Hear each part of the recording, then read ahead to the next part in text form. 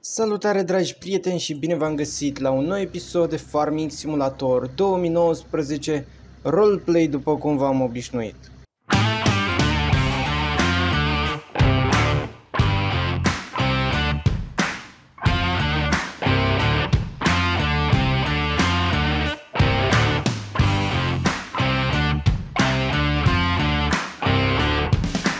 Dragilor, suntem uh, undeva uh, pe drumurile Dumeștiului și vreau să vă zic că mi-am luat o mașină. Bine, vorba vine că am luat am împrumutat-o de la cineva de pe aici de prin sat și uitați-vă și voi ce mașină este. Este un Aro, dar un Aro nu așa, un Aro tunat, un Aro făcut ca lumea. Și vreau să mergem cu mașinuța asta. Ia să vedem, are și de conectare remorcă, văd că are. Vreau să mergem să facem uh, plinul la porcușori astăzi. Știți că din episodul trecut știți că am vândut porcii și mai am doar doi porci și vreau să-i asigur cu puțină mâncare, dar acum am nevoie să le cumpăr câte puțin din fiecare, așa că o să iau uh, o să iau câte un tractor și o să vedem cum ne descurcăm, dar ce are prinde pe undeva mașina asta? Ah, mi s-a părut doar. Da, mă gândeam, eu zic, bă, să fie atât de înaltă și să prindă, n-are cum.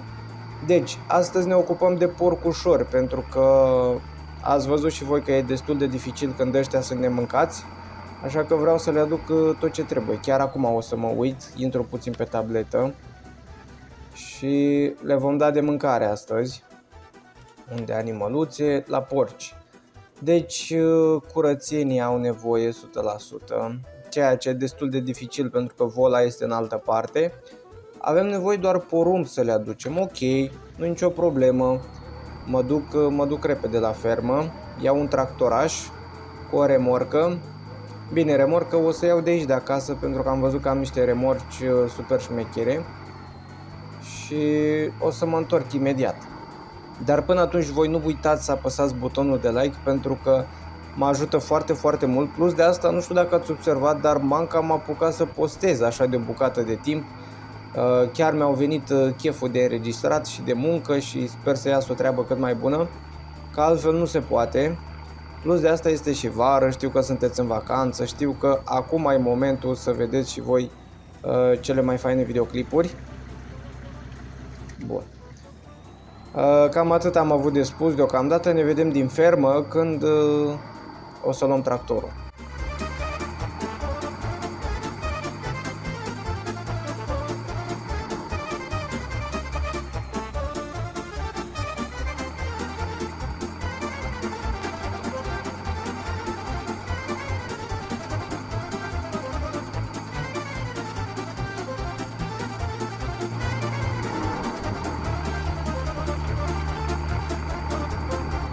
Dragilor, am ajuns și în fermă, deci se vede super mașina asta pe din afară, îmi place extraordinar de mult cum se vede. O să o pun la umbră pentru că ea și așa n-are capota la motor. Uh, capota la motor este în lucru și a fost dată jos și omul ăsta a zis, bă, dacă vrei să o iei la o probă o zi, două, ți-o dau, nu e nicio problemă, dar doar să o ții uh, la umbră și să o ții departe de ploaie. Acum nici nu cred că ar avea ceva motorul de la ploaie dacă o prinde, dar dacă așa a zis omul, așa facem. Hai să luăm pe domnul Tractorescu și să mergem după o remorcă. O să-i punem și motorină, că avem cam 3 sferturi așa. Eu zic că ajunge, 100% ajunge, că ăsta nu consumă multă motorină. Dar mie îmi place să le văd cu plinul făcut pe toate. Numai tractorul ăla pe care le am eu cu probleme, ăla săracul, oricât ai vrea să stai tu plin cu, cu el, la motorină nu, nu poți, n-ai cum să reziști. Din cauza că la consumă motorină câtă vrea el, nu contează că tu mai ai și altă treabă și că nu poți să stai toată ziua să-i bagi motorină, el consumă motorină. Bun, mergem spre casă, spre prima noastră casă, casa părintească care acum e transformată în fermă și o să ne luăm o remorcă de acolo cu care o să luăm niște porumb, o să mergem să cumpărăm niște porumb Că tocmai de asta am zis că anul ăsta o să cultiv porumb, pentru că n-am porumb de niciun fel. Plus de asta o să mă ocup și de depozit, să fac zilele viitoare un depozit pentru cereale. și vola aia pe care ați văzut-o voi este una singură și tare mie îmi vine să cred că e cam mică vola pe care o avem și ar trebui să mai cumpărăm încă una mai mărișoară ca să facem față la fluxul care va să vină în uh, viitor. Că doar suntem niște fermieri adevărați, nu? Bun. Să trecem la treabă. Mai avem puțin până ajungem la remorcă. O să nu o să fie un episod lung pentru că am zis, bă, nu mai fac episoade atât de lungi. O să fac mai scurte și la subiect ca să înțeleagă lumea ce și cum se face. Plus de asta vreau să ajung și eu ca și Cocomin la mult mai multe episoade. Vreau să am și eu acolo 250-280 de episoade, să facem cât mai multe episoade din uh, Farming Simulator 19 ca să fie cea mai uh, mare serie de pe acest canal. Să fie seria cu cele mai multe episoade. Așa îmi doresc, acum nu știu dacă o să și reușesc, dar uh, rămâne de văzut. Oare să iau remorca cealaltă, dar aia e prea mare. Pentru cât porumb au nevoie porcii noștri, nu mai bine facem noi în felul următor. Deci avem nevoie pentru ei așa de porumb, grâu, boabe de soia și speclă de zahăr sau cartofi. Și eu cred că putem să umplem niște remorci, că tot avem remorcile astea multe. Eu zic că putem să le umplem să mergem, să luăm, uh, azi luăm o remorcă de, așa uite, de exemplu, azi luăm o remorcă de porumb, după aia o să mă întorc și o să mă duc să iau o remorcă de, vai mamă ce la porci ăștia, Pă, la ăștia trebuie făcut curățenie imediat, mă, de urgență. O să vin cu, uh, după ce o să termin cu adusul porumbului, o să mă duc de urgență să iau uh, vola, să le facem curățenie. Sunt doar doi porcușori de încolo, că sunt, nu sunt așa mulți. Nu știu de ce fac ei atâta gălăgie pentru nimic. Și băi, deci e atât de greu să gestionezi o fermă atât de mare. Bine, m-am lungit eu peste tot și m-am băgat prin toate părțile, dar ea nu e atât de mare. Ideea e că am o grămadă de treburi de făcut. Ia uite cum scrie aici. La mitica acasă. Da. La mitica acasă, dacă vrei, dar acum nu mai e casa lui mitică. Mulți oameni vin pe aici pe la fermă se opresc pentru că văd indicatorul și de fapt nu stau acolo, stau în altă parte. Dar uh, am pus număr de telefon în poartă și cine mă caută sună și după aia uh, vin eu la căsuță. Păi, revenind după ce ne întoarcem cu porumbul, că și așa văd că zona asta industrială pe aici nu mai e nimic de văzut și n-am ce să vă arăt, că na.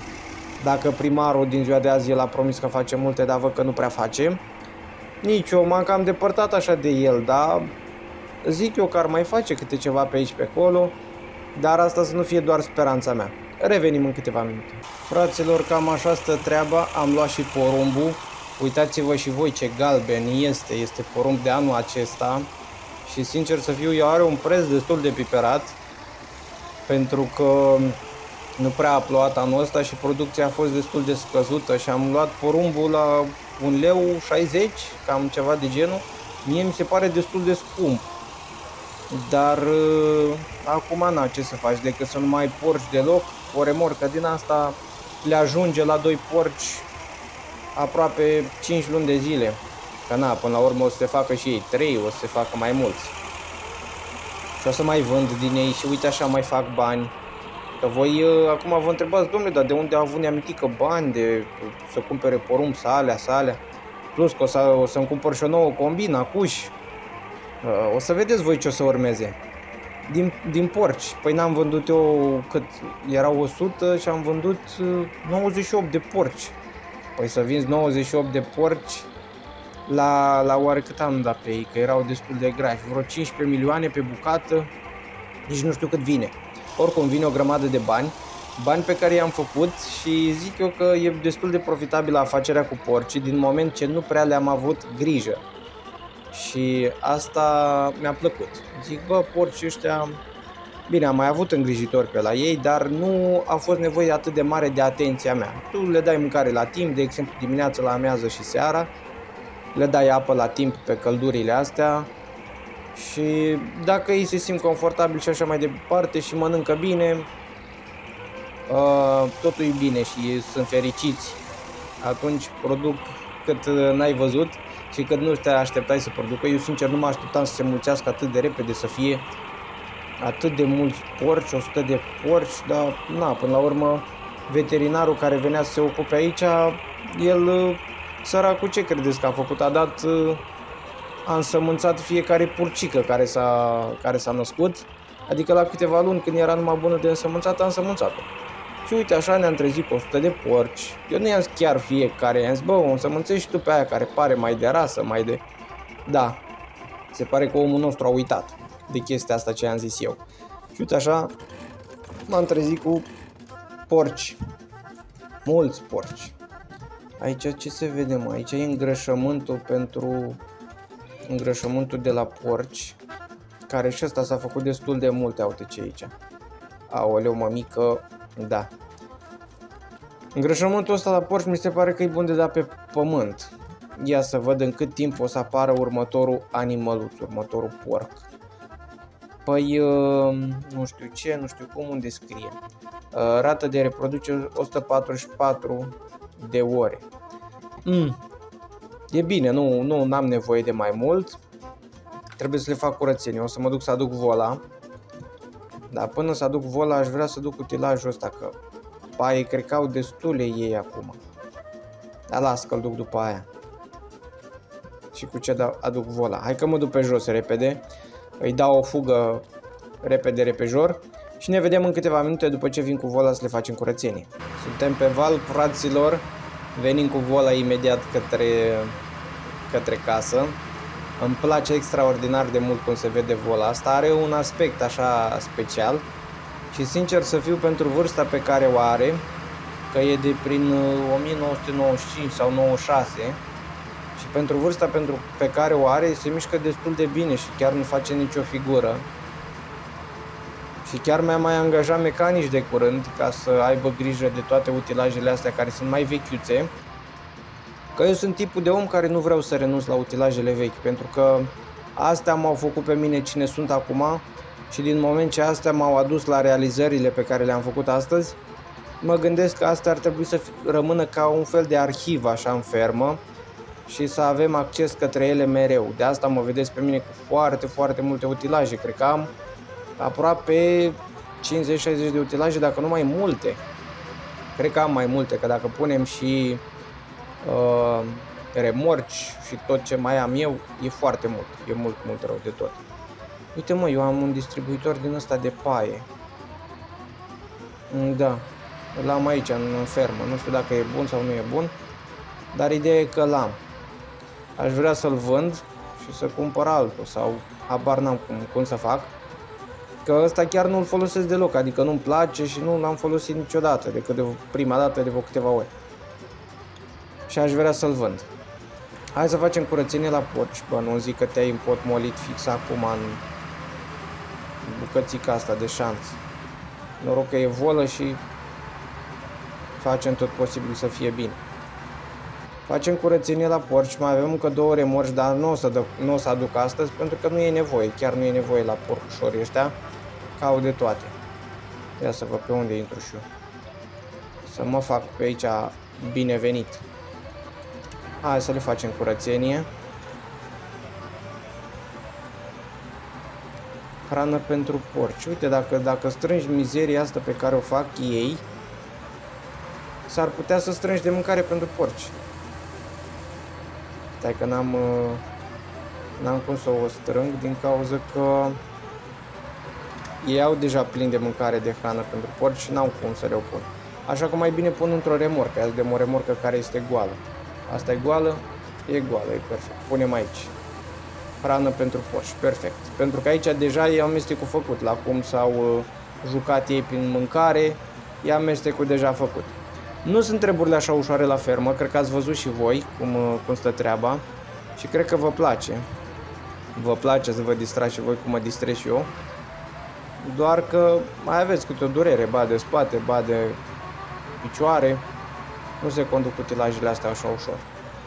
Bun, oprim, să se oprim și girofarul și acum să venim cu porumbu să vedem cât din remorca asta se descarcă.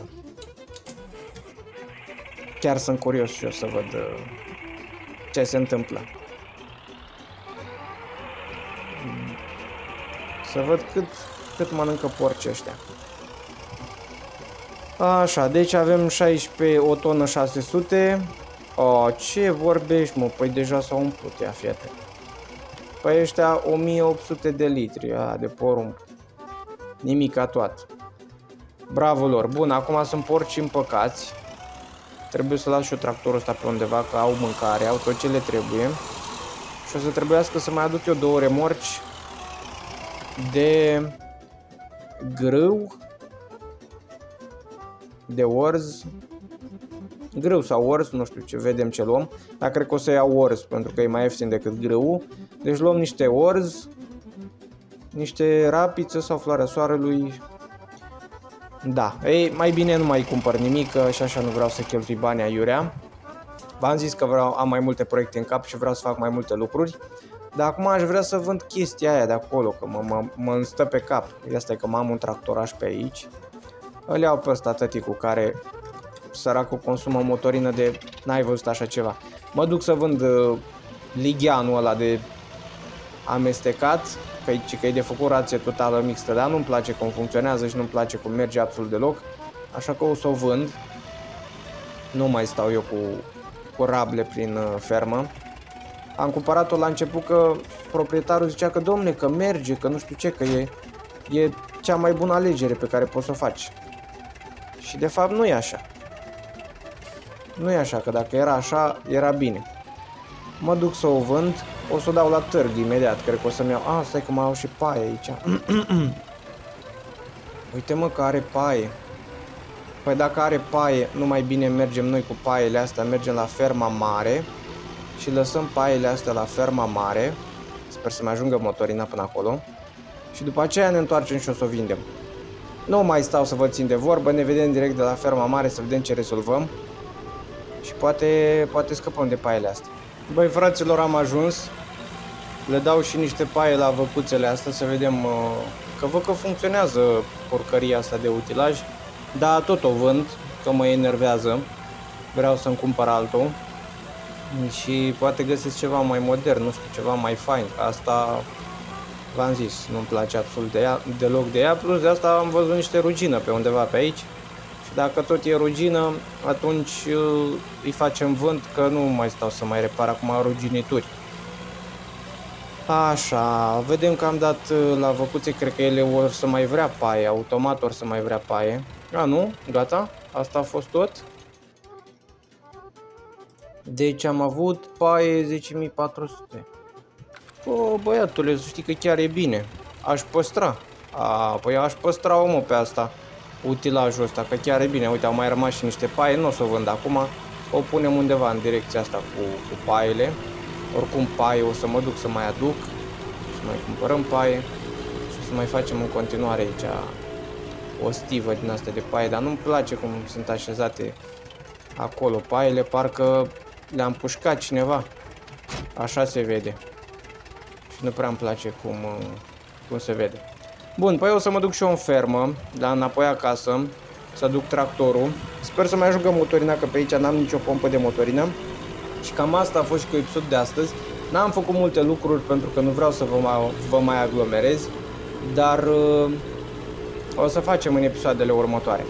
Cam asta a fost cu episodul de astăzi. Noi ne vedem data viitoare la un nou episod și până data viitoare, eu nu vă urez decât numai baftă!